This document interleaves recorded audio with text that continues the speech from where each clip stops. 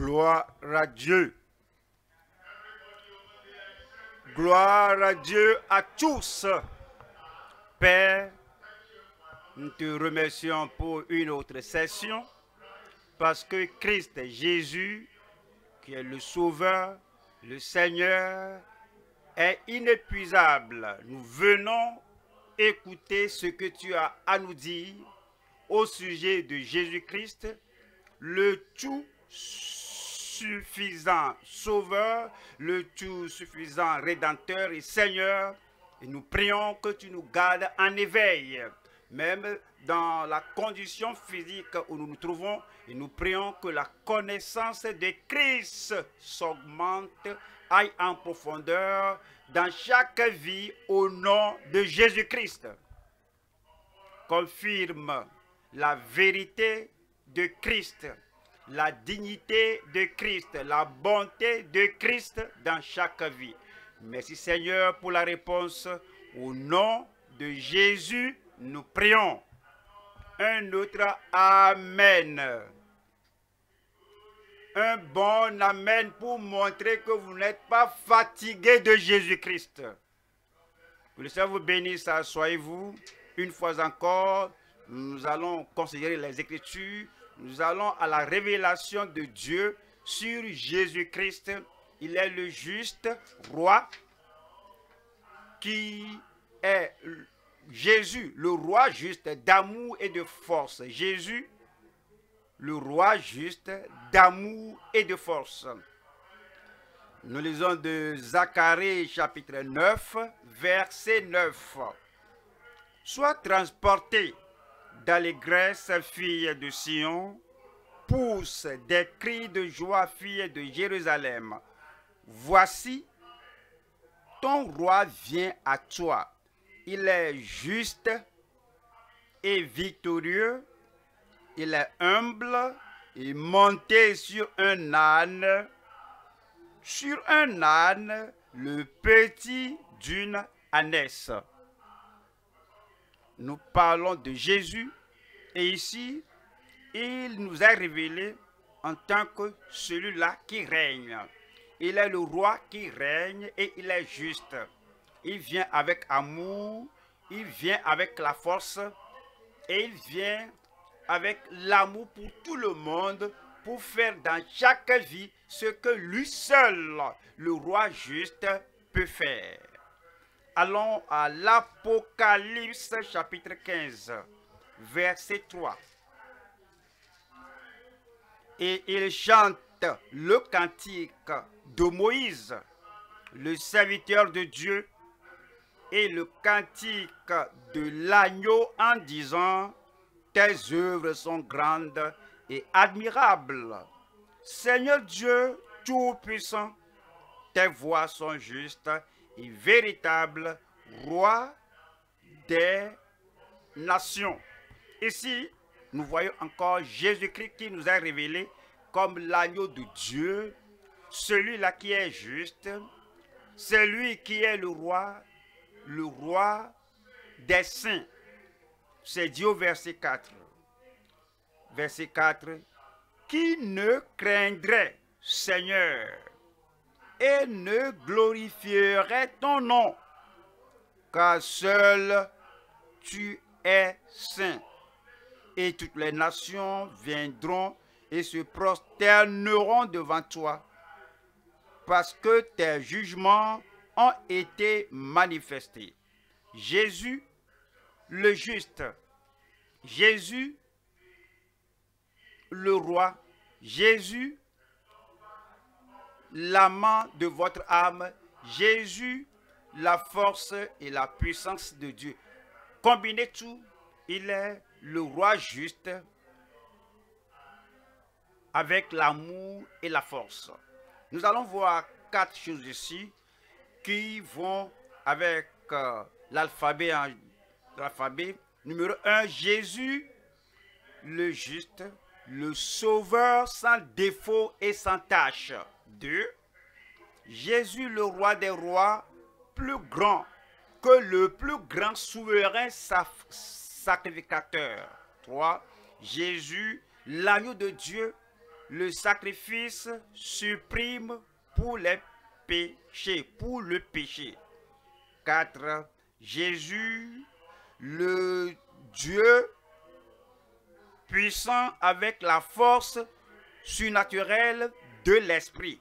Alors au premier point ici, c'est Jésus le juste, le Sauveur sans défaut et sans tâche.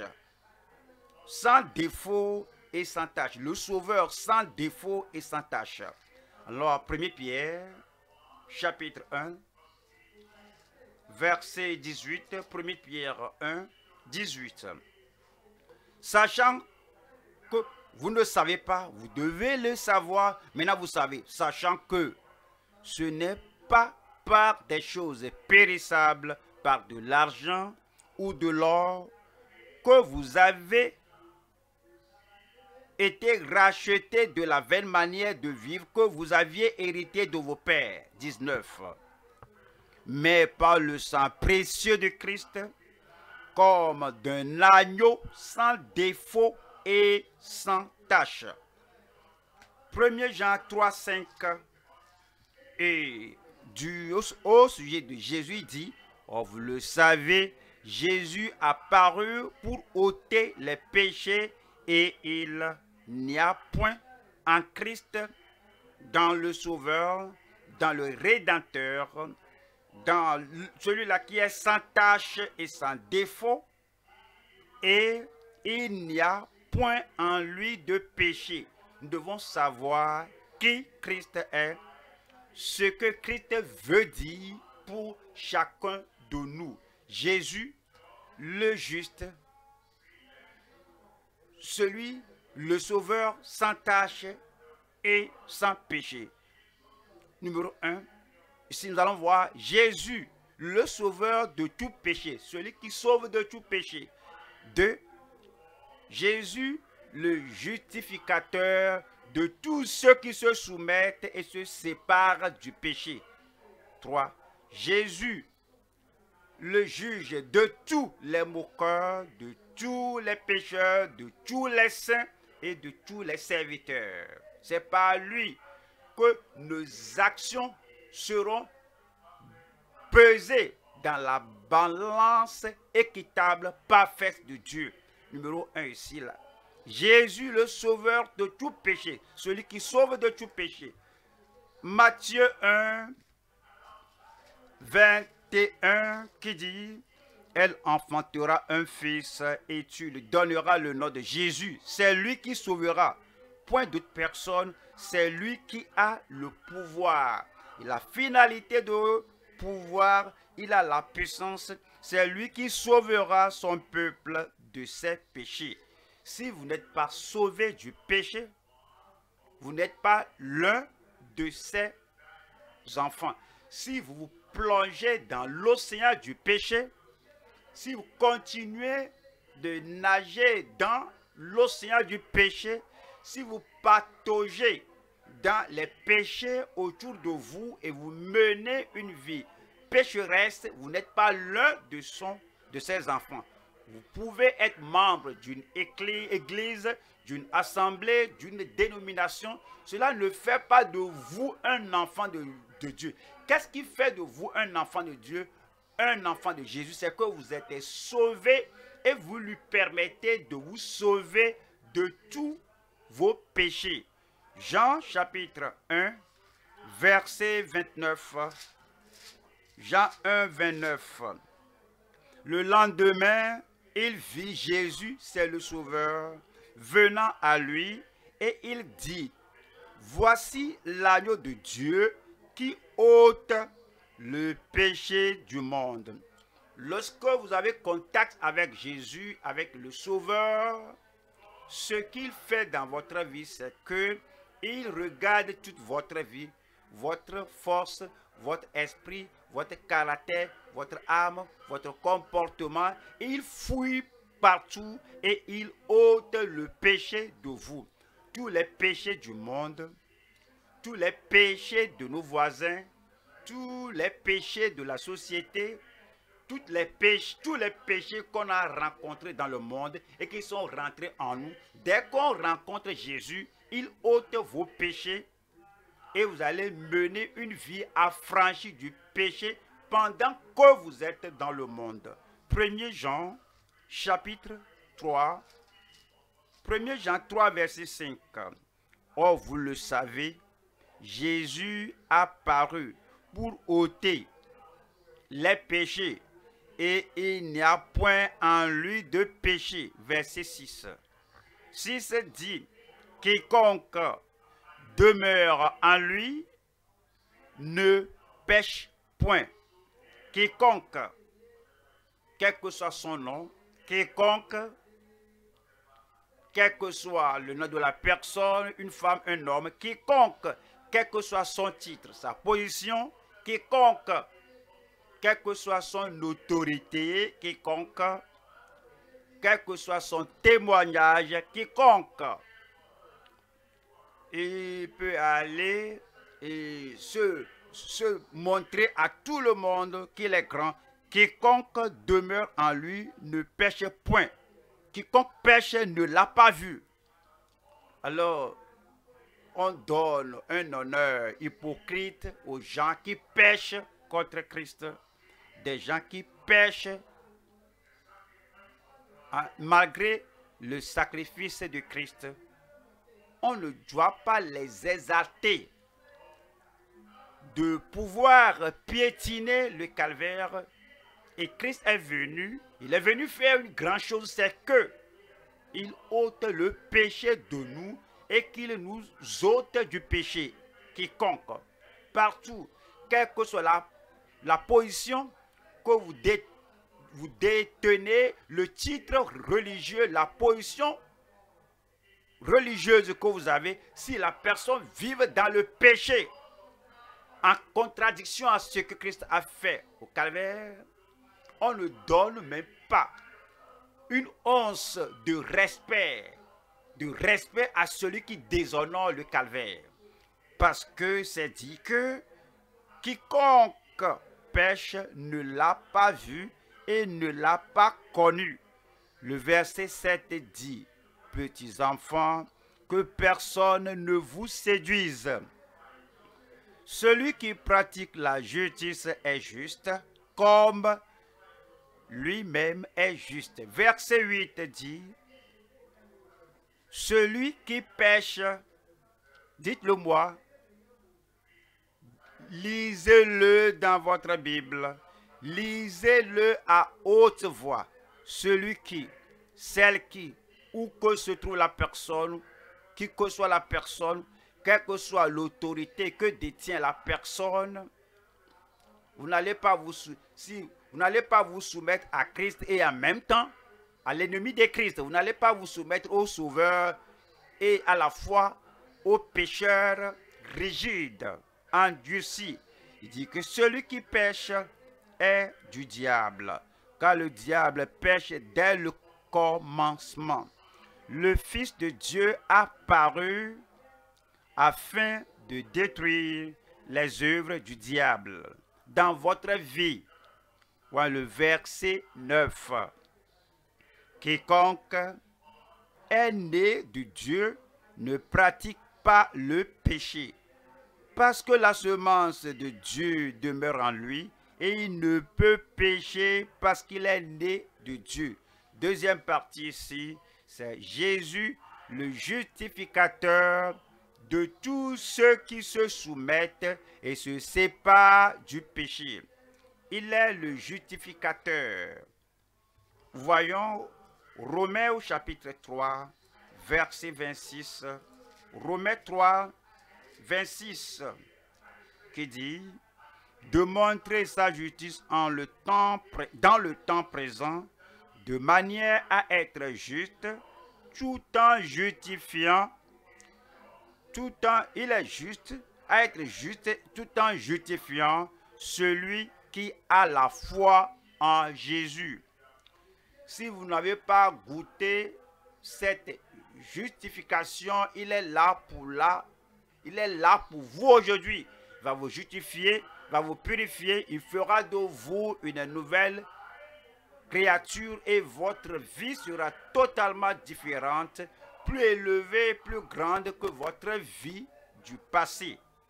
Romains au chapitre 4, verset 5. Romains 4, 5. Et à celui qui ne fait point d'œuvre, à celui qui s'est abandonné, qui essaie afin de s'affranchir parce qu'il voit que c'est impossible pour lui. Vous ne pouvez pas vous élever par les livres que vous lisez. Vous ne pouvez pas vous amener au ciel par ce que vous faites.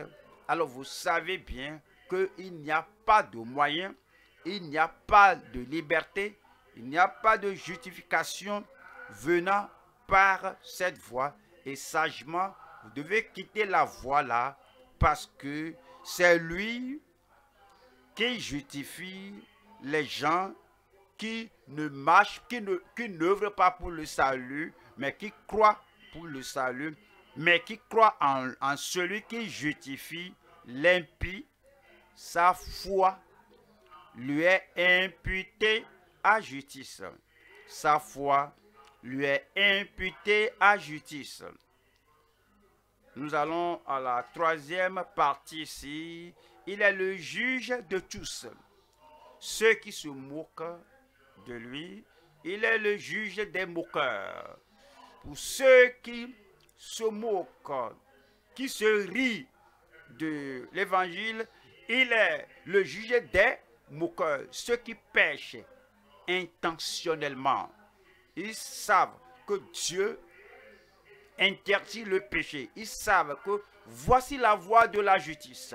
Marchez-y. Et ils disent qu'ils ne vont pas marcher dans cette voie et intentionnellement ils pêchent. Et ils pêchent contre le commandement évident du Seigneur. Certaines pêchent par faiblesse, certaines personnes par la dépravation, certaines par leur intention.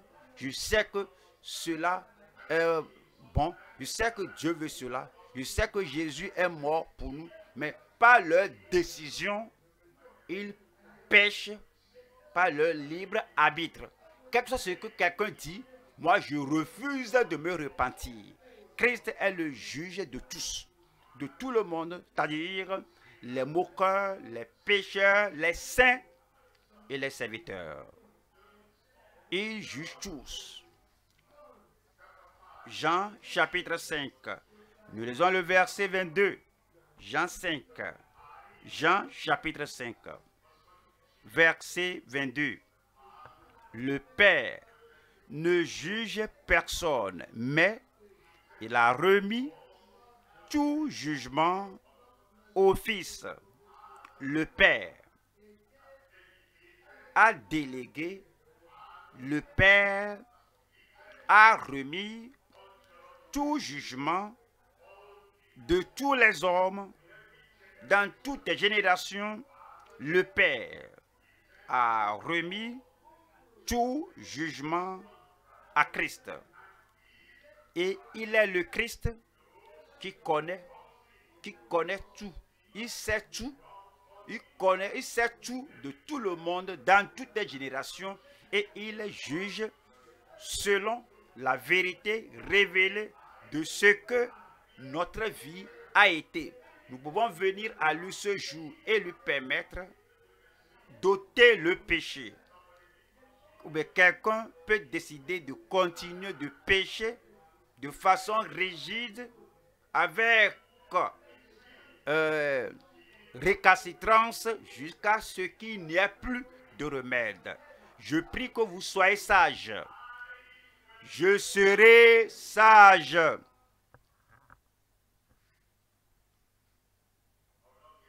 Je ne serai pas un moqueur.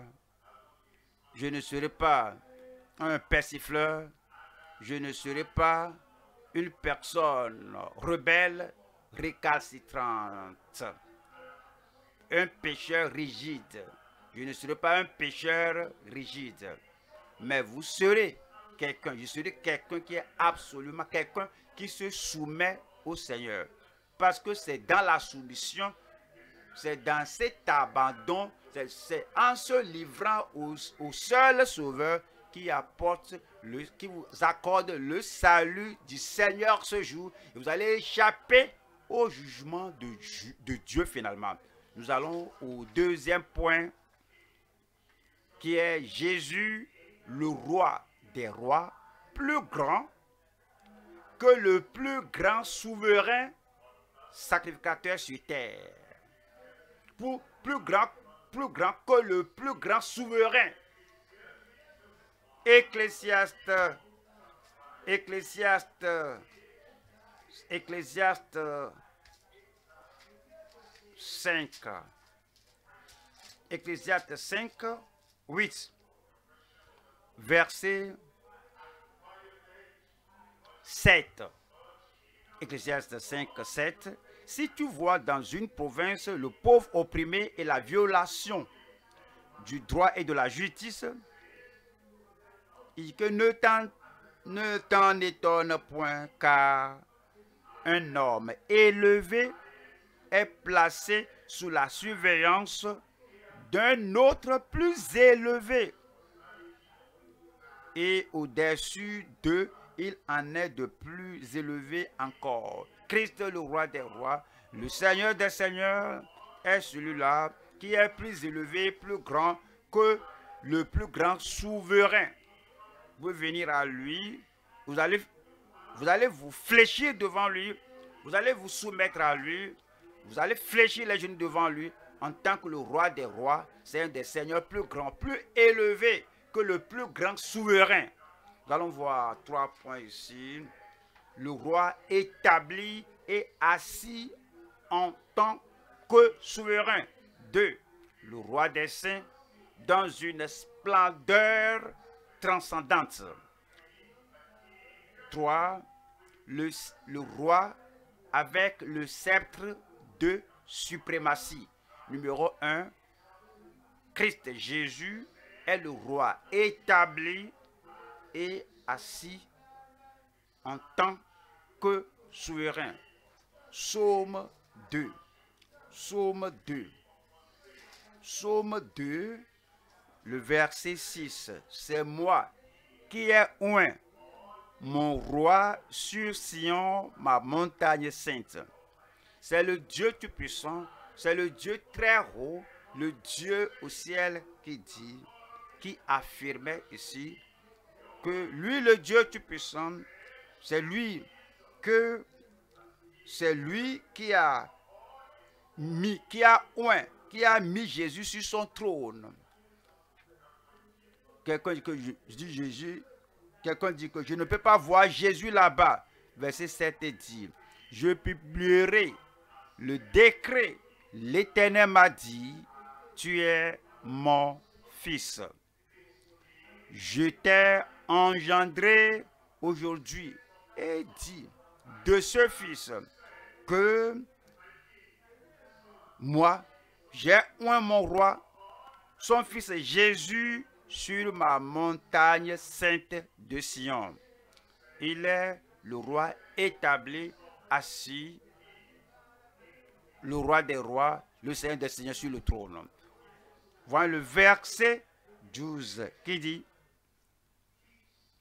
Baisez le Fils, honorez le Fils, aimez le Fils, prosternez-vous devant le Fils. Voyez, en ces jours d'autrefois, même dans notre monde actuel, dans cette génération, il y a une culture où si quelqu'un est donné le plus grand honneur et on se présente devant la personne et qu'un sujet vient, il se prosterne et baise ses pieds. C'est ce qu'il dit ici, que faut baiser le Fils. Humiliez-vous, venez comme un pécheur suppliant devant le Fils de Dieu. Il dit, baisez le Fils de peur qu'il ne s'irrite et que vous ne périssiez dans votre voie car sa colère est prompte à s'enflammer. Heureux tous ceux qui se confient en lui. je crois que vous mettez votre confiance en lui. Je dis, je crois que vous mettez votre foi en Christ, le Sauveur, le Seigneur, le juge et le roi. Deuxième partie ici, c'est le roi des saints dans une splendeur transcendante. Il est le roi des saints dans une splendeur transcendante. C'est dit en Apocalypse 15. Apocalypse 15, le roi des saints. Apocalypse 15. Et le verset 3 qui dit, et il chante le cantique de Moïse, le serviteur de Dieu, et le cantique de l'agneau en disant, tes œuvres sont grandes et admirables, Seigneur Dieu Tout-Puissant. Tes voix sont justes et véritables, Roi des nations. Roi des nations. Vous allez découvrir que les croyants sont appelés saints dans le Nouveau Testament. Ne sont pas appelés pécheurs. Quand ils croient, ils croient en Christ, les péchés sont effacés, les péchés sont purifiés, les péchés sont à jamais ôtés et sont transformés. Si quelqu'un est en Christ, il est une nouvelle créature. Une créature renouvelée, réformée. Une créature renouvelée, régénérée. Si quelqu'un est en Christ, il est. Si réellement la personne est en Christ, la personne là est une nouvelle créature. Les choses anciennes sont passées. Voici, toutes choses sont devenues nouvelles. Dans cette nouveauté de vie, le croyant est appelé saint.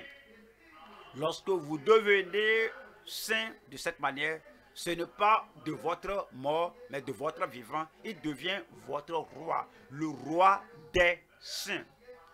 Et il a une splendeur transcendante sur votre vie, dans votre vie, au travers de votre vie.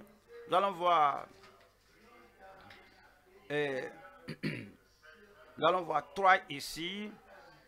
Et il est le roi avec le sceptre de suprématie. Le roi avec le sceptre de suprématie. Hébreu, chapitre 1, verset 8. Mais il a dit au Fils, ton trône, ô Dieu, est éternel. Le sceptre de ton règne est un sceptre d'équité. Cela parle de Christ. Et le verset 9 dit, verset 9 dit, tu as aimé la justice et tu as haï l'iniquité. Il aime la justice. Pourquoi? Parce que Christ est le juste. C'est Christ qui est venu établir la justice dans le cœur de ses disciples. Pourquoi? C'est lui qui est juste depuis toute l'éternité. Il aime la justice. Il hait tout ce qui contredit cette justice. Dieu n'a pas de favori qui le pousse à dire, je le connais, je sais que sa vie est mauvaise, je sais que sa vie est pécheresse, mais tout de même, il est mon favori. Non, non, non, non, non, non, non, non, non.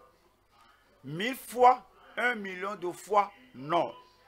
Dieu aime la justice et, et dit qu'il est l'iniquité. Partout l'iniquité est retrouvée, celui qui délibérément pêche et dit que je suis le favori de Dieu donc je peux faire n'importe quoi, vous allez découvrir avec étonnement que Dieu ne fait pas acception de personne. Et Christ aime la justice. Partout dans la vie de n'importe qui, Jésus-Christ est l'iniquité dans la vie de n'importe qui où cela se trouve. C'est pourquoi, ô Dieu, ton Dieu t'a oint d'une huile de joie au-dessus de tes égaux. C'est notre roi. Le roi qui a le sceptre de la justice. Allons au troisième point qui est Jésus, l'agneau de Dieu, le sacrifice suprême pour le péché. C'est dit en Jean chapitre 1, verset 29, Jean 1, 29. Le lendemain, il vit Jésus venant à lui et dit, voici, cessez tout ce que vous faites, regardez celui-ci. Voici, détournez-vous de tout pour regarder celui-ci parce que toute autre chose que vous regardez ne peut pas vous préparer pour l'éternité. Toute autre chose que vous regardez ne peut pas vous changer, vous qualifier d'entrer au ciel. Arrêtez tout, cessez de tout faire, détournez-vous de toutes choses, minimisez toute autre chose. Voici, regardez, voici l'agneau de Dieu qui ôte le péché du monde. Il va ôter tous vos péchés. Mais vous devez le regarder. Vous devez le regarder par la foi. Vous devez vous concentrer sur lui. Vous devez le contempler. Voici l'agneau de Dieu qui ôte le péché du monde. Nous allons voir trois sessions ici. Numéro 1, l'agneau pour le salut de tous les pécheurs. 2, la lumière qui brille au-delà du soleil et des étoiles. 3. Le Seigneur des saints et de tous les sujets, de tous les citoyens. Numéro 1, c'est l'agneau pour le salut de tous les pécheurs. L'agneau pour le salut de tous les pécheurs. Nous allons à Apocalypse 5. Apocalypse chapitre 5. Apocalypse 5, le verset 8 dit, Quand il eut pris le livre, les quatre êtres vivants et les vingt-quatre vieillards représentant les douze tribus d'Israël et les douze apôtres du Nouveau Testament, représentant l'Ancien et, le Nouveau, les 24 vieillards se prosternèrent devant l'agneau, tenant chacun une harpe et des coupes d'or remplies de parfums qui sont les prières des saints. Qu'est-ce qu'il disait? Voilà, Le verset 9. 9 dit, et il chantait un cantique nouveau en disant, tu es digne de prendre le livre, le livre de la rédemption de toute la terre, et d'en ouvrir les sceaux, car tu as été immolé et tu as, racheté pour Dieu par ton sang des hommes de toutes tribus, de toutes langues, de tout peuple et de toute nation. C'est notre Sauveur, c'est le roi, c'est l'agneau. Et, le salut qu'il a est donné à tous et de toute tribu, de toute langue, de tout peuple de toute communauté, de, tout, de toute nation. Voyons la deuxième partie ici. Il est la lumière qui brille au-delà du soleil et des étoiles. Le soleil. Et la lumière. Le soleil brille, la lumière brille, mais lui, il est au-delà, au-delà de tous. La lumière brillante, resplendissante. Jean chapitre 8. Jean chapitre 8, verset 12. Jean 8, verset 12. Jésus leur parla de nouveau et dit, Je suis la lumière du monde. La lumière du soleil peut vous donner la lumière, l'éclat pour voir, ou la lumière euh, de la lune ou des étoiles. Mais ces sources de lumière ne vous pouvoir que la lumière ici sur terre. Mais voici celui-là qui va au-delà de tous, qui brille au-delà de tous. Voici celui qui vous prend au-delà du soleil et des étoiles. Voici Jésus, la lumière du monde. Il dit, et, et dit ici que celui qui me suit ne marchera pas dans les ténèbres. Celui, celle qui me suit.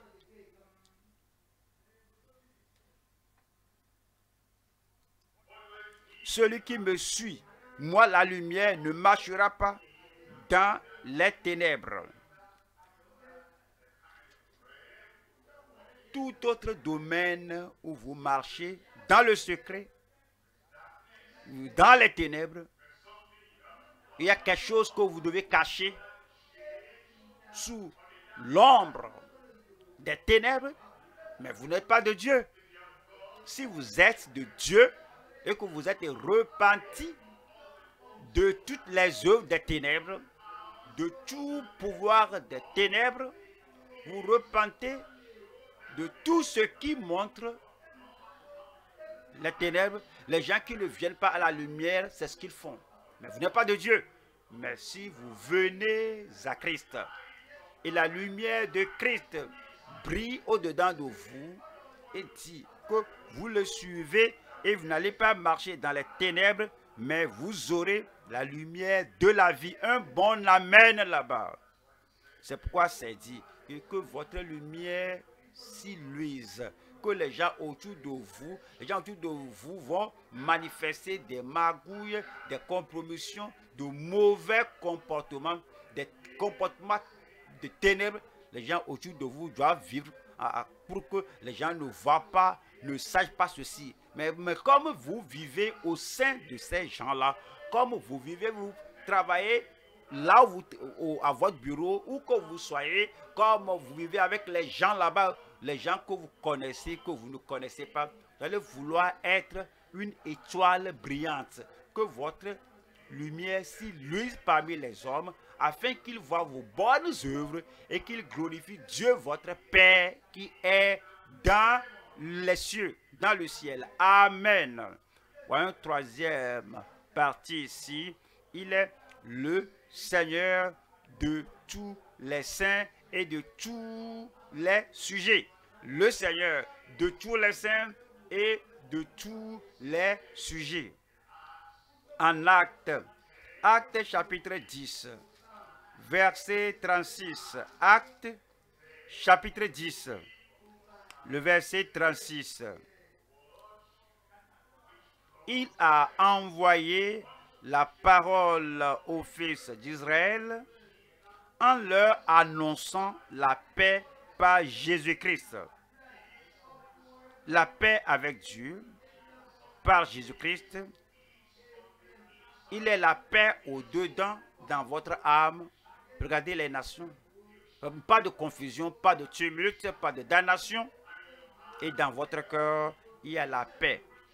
Et qui annonce la paix. La paix dans votre famille, dans votre foyer, avec votre femme, avec votre mari. La paix. Il y a la transparence, il y a la fidélité, pas l'hypocrisie, pas que je me taise pour que je ne le dérange pas, pour que je ne la dérange pas, afin qu'il ait la paix. Ce n'est pas cela, mais la paix qui va au-delà de toute hypocrisie, la paix qui va au-delà de toute cachette superficielle. Mais par lui, par Jésus, nous annonçons la paix. La paix avec les voisins, la paix avec tout le monde.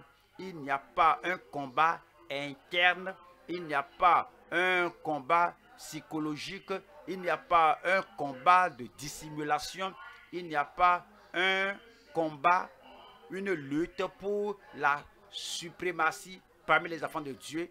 Dieu nous donne la paix, la paix avec votre voisin, la paix, la paix de tribu en tribu, cette tribu avec cette tribu, et, de cette, cette tribu avec l'autre tribu, il y a la paix. Lorsque nous connaissons Christ, le prince de la paix, il nous donne la paix.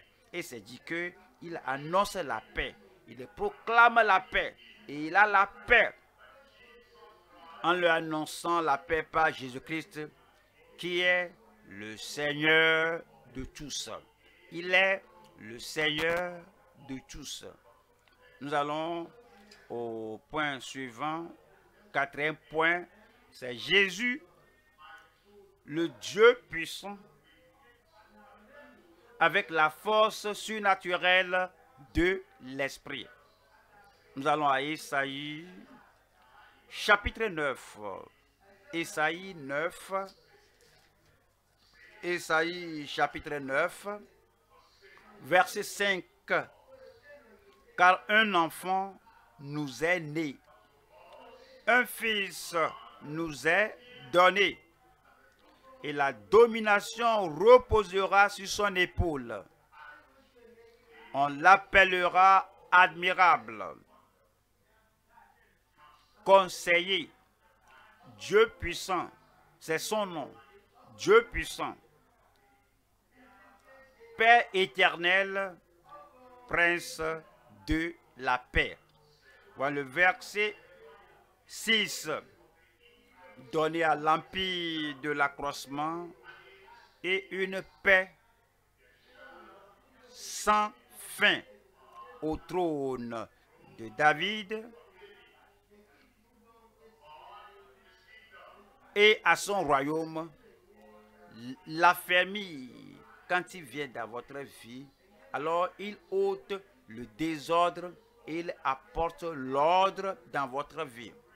Il apporte un bon ordre dans votre vie et votre vie n'est plus désordonnée parce que lui, ce Christ, ce Jésus, il est le Dieu puissant, apporte l'ordre.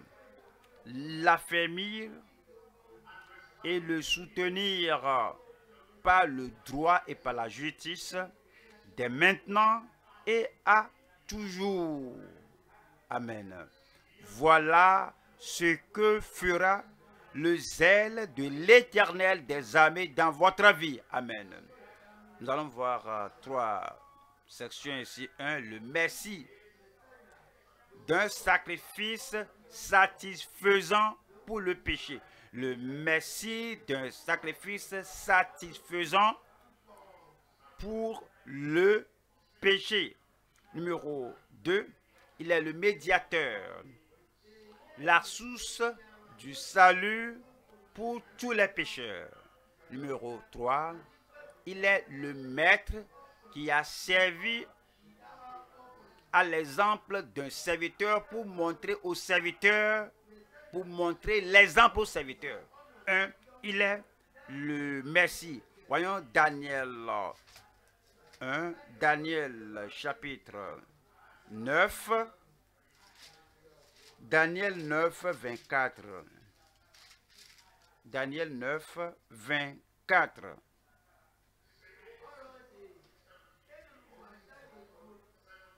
Soixante-dix semaines ont été fixées sur ton peuple et sur ta ville sainte pour faire cesser les transgressions, le Messie, et mettre fin au péché.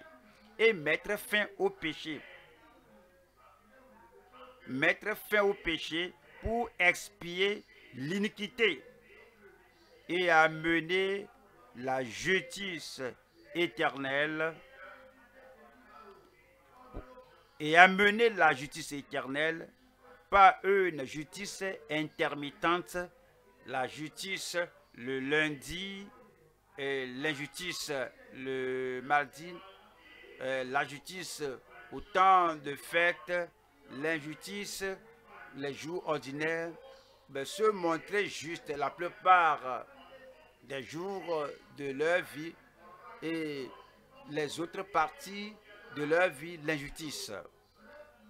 Vous savez, les gens qui sont en haut euh, le dimanche, en bas au cours de la semaine, en haut, en public, en bas, en privé, ces gens-là n'ont pas goûté l'objectif de la venue de Christ. Il est venu mettre fin au péché et expier l'iniquité et amener la justice éternelle pour sceller la vision et le prophète et pour oindre le saint des le verset, le verset 25 qui dit ici, voilà le verset 25.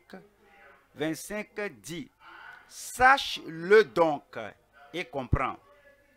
Depuis le moment où la parole a annoncé que Jérusalem sera rebâtie jusqu'à loin, au conducteur, jusqu'à loin, le Messie, celui qui va venir et mettre fin au péché, celui qui va venir établir la justice dans chaque âme, dans chaque cœur qui croit en lui, jusqu'à loin, au conducteur, il y a sept semaines, dans 62 semaines, et les places et les fossés seront rétablis, mais en des temps fâcheux.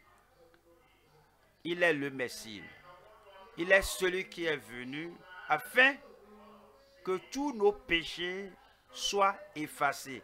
Que c'est merveilleux de le connaître et après l'avoir connu, notre vie ne n'est plus la même. 1 Corinthiens 5. 1 Corinthiens chapitre 5 verset 7. 1 Corinthiens 5, 7. Faites disparaître le vieux levain, afin que vous soyez une pâte nouvelle, puisque vous êtes sans levain, car Christ, notre Pâque, le Messie, même Christ, notre Pâque, le Messie, a été immolé. Verset 8 dit, Célébrons donc la fête, non avec du vieux levain, non avec un levain de malice. Des croyants qui connaissent Christ ne vivent pas avec malice. Qu'est-ce que la malice? La malice, c'est la haine intronisée au-dedans de vous, la haine que les gens ont contre ceux qui les ont blessés. Qu'est-ce que la malice? C'est la haine, l'immosité établie dans le cœur pour ce que quelqu'un fait contre moi. Qu'est-ce que la malice? C'est la haine. C'est le mal que les gens ont dans le cœur pour, la, pour le soupçon. Pour. Il a quelque chose, il fait quelque chose, mais il ne l'a pas fait, mais il pourrait faire quelque chose contre moi. Il pourrait dire quelque chose contre moi. Mais avant de le faire, la personne nourrissait déjà de cette haine. La personne a cette animosité et ces projets uniques contre la personne pour ce qu'il a fait, pour ce qu'il fait maintenant, pour ce qu'il pourra faire contre moi. Lorsque vous avez fait l'expérience avec le Messie, lorsque Jésus-Christ vient dans votre vie et vous avez expérimenté son sacrifice, vous mettez de côté tout ce qui est de la malice et de méchanceté. Mais gardons, célébrons la fête avec les pains sans levain de la pureté, de la transparence et de la vérité. Je vais à la deuxième partie ici. Deuxième partie qui est, il est le médiateur, la source du salut pour tous les pécheurs. Voici Jésus qui nous est présenté de tous les domaines et de toutes dimensions. Il est le médiateur. Nous allons aux Hébreux, chapitre 8. Hébreux 8, le verset 6. Mais maintenant, Hébreux 8, 6. Mais maintenant, il a obtenu un ministère de temps supérieur, un ministère plus, euh, plus supérieur qu'à celui de Moïse, qu'à celui d'Aaron, qu'à tous les sacrificateurs de l'Ancien Testament. Mais maintenant, il a obtenu un ministère d'autant supérieur qu'il est le médiateur d'une alliance plus excellente. Il n'y a point d'autre euh, euh, alliance qui soit comparable à ce que nous avons en Dieu par Christ. Il n'y a point d'autre euh, alliance qui puisse venir. Il a fait la dernière, la finale alliance. Il a fait l'alliance pleine. Il a fait la dernière alliance qui est une alliance plus excellente, excellente qui a été établie sur de meilleures promesses. Tout ce dont nous avons besoin se trouve en Christ. Tout ce dont vous avez, vous avez besoin se trouve en Christ. Amen. Ouais, si vous dites Amen, je sais que vous ne dormez pas parce que parfois, quand on écoute la voix d'un prédicateur, c'est comme une bonne mélodie que vous absorbez, mais vous n'allez pas dormir. Amen. Maintenant, nous avons cette meilleure, cette excellente alliance et que sa réalité s'accomplisse dans votre vie au nom de Jésus-Christ. Troisième partie ici, il est le maître qui a servi à la manière d'un serviteur pour montrer l'exemple aux serviteurs. Pour montrer l'exemple aux serviteurs. Nous allons, euh, nous allons aux Philippiens. Philippiens chapitre 2, verset 5.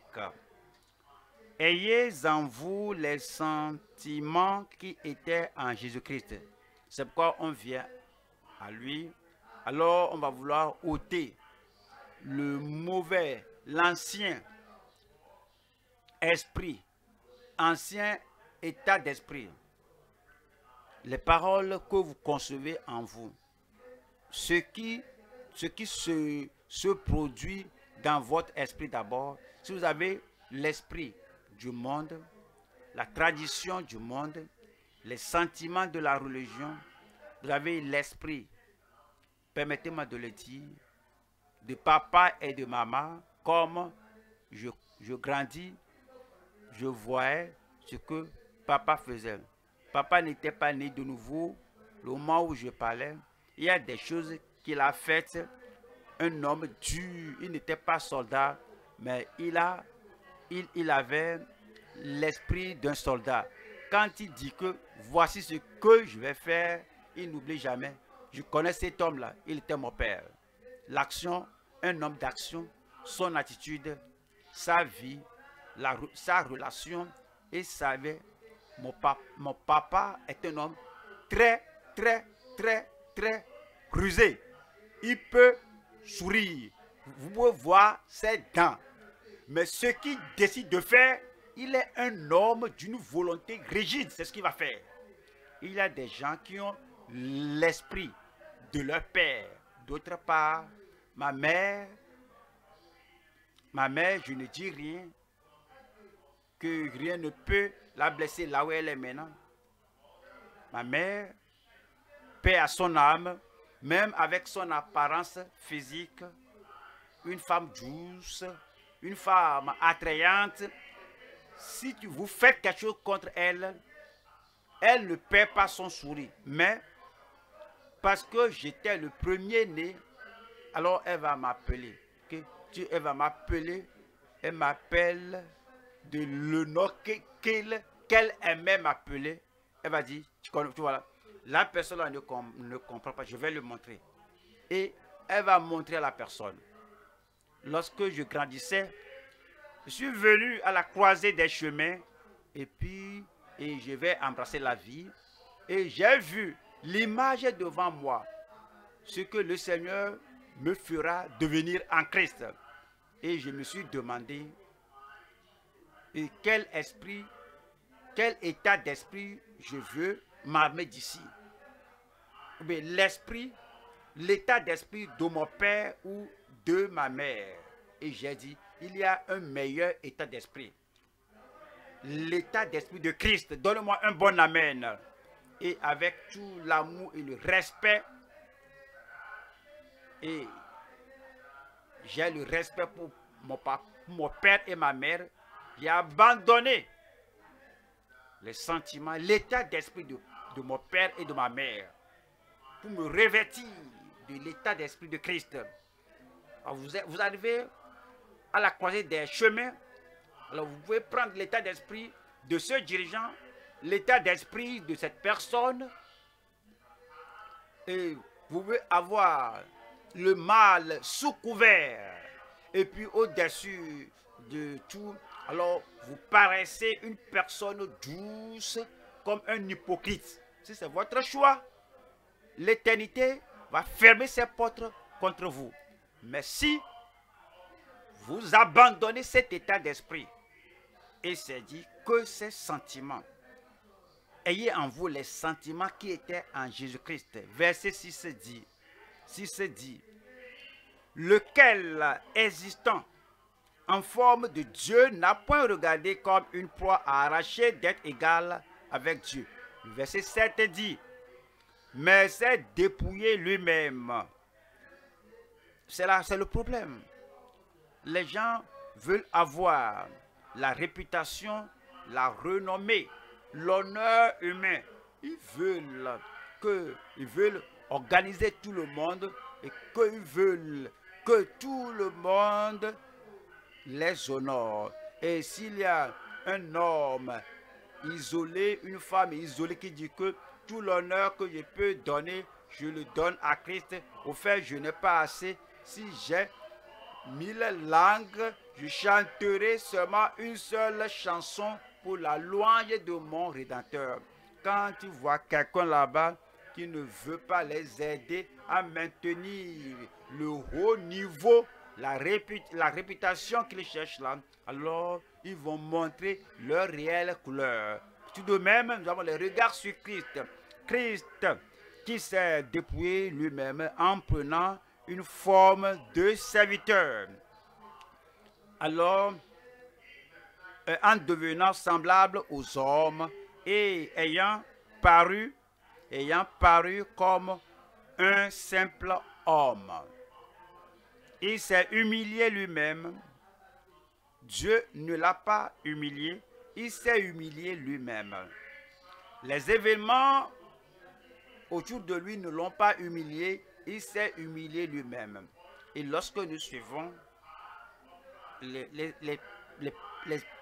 traces de Christ, nous avons les sentiments de Christ, nous n'attendons pas un pasteur de quelque part pour nous humilier, nous pouvons le faire nous-mêmes. Il s'est humilié lui-même, se rendant obéissant jusqu'à la mort. Même jusqu'à la mort de la croix.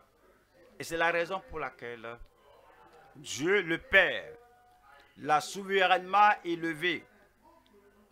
Et, alors, et, euh, alors, si vous voulez, les éternelles, humiliez-vous devant le Seigneur. Vous venez à Christ et tous les attributs de Christ, toute la bonté de Christ, toute la grâce de Christ, vous aurez cela dans votre vie à partir de ce jour au nom de Jésus-Christ. J'en aurai. J'en aurai. Pourquoi ne pas vous entendre? Parce que parce que je vais demander. Parce que je demanderai. Parce que je demanderai. Puisse le Seigneur vous accorder les sentiments de Christ à partir de ce jour jusqu'au jour que vous le voyez face à face au nom de Jésus-Christ. Tenons-nous debout maintenant et parlons au Seigneur dans la prière afin que le Seigneur nous élève, qu'il nous fasse devenir ce que nous devons devenir, ce que nous ne sommes pas encore. Parlons Seigneur Jésus-Christ afin qu'il nous accorde le cœur, son cœur, ses sentiments qui nous donnent sa vie, qui nous donne l'humilité, qui nous donne la sainteté. Alors que le Dieu, le Dieu du ciel, reproduise Christ dans la vie de tous ceux qui l'invoquent. Ouvrez la bouche et priez le Seigneur.